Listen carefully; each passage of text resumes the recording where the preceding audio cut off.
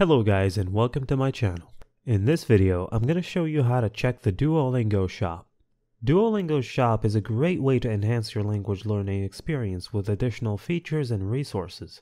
First things first, open the Duolingo app on your phone or tablet and make sure you're logged into your account. Now, look for the shop icon. It's usually a blue gem found at the top of the screen. Tap on it and it'll take you to the Duolingo shop. Welcome to the shop! Here, you'll find a variety of items you can get using the gems you've earned by completing lessons or maintaining your streak.